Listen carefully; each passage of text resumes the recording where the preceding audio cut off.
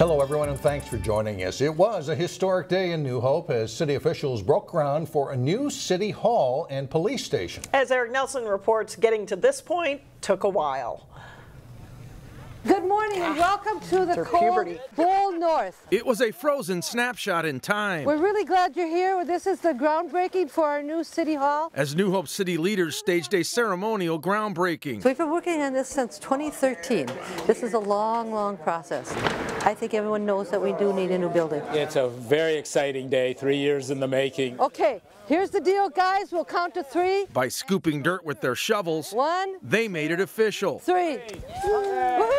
Woohoo! Yay! Construction of a new city hall and police station at the community pool site can soon begin. And the transition from this building to that will just be seamless.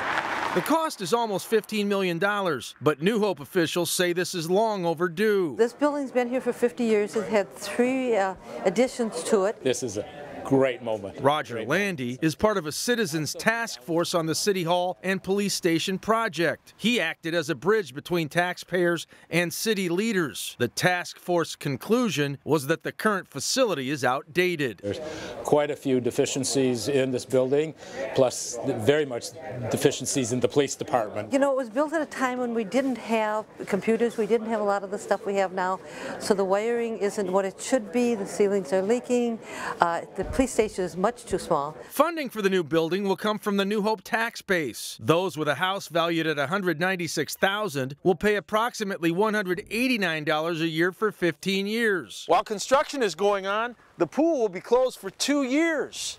A new one will be built on the site of the old City Hall. In New Hope, I'm Eric Nelson, CCX News. Construction of the new City Hall and police station is expected to begin later this month. As far as the new pool, there is still no decision on what size it will be, whether it's an Olympic size like the current one or something smaller.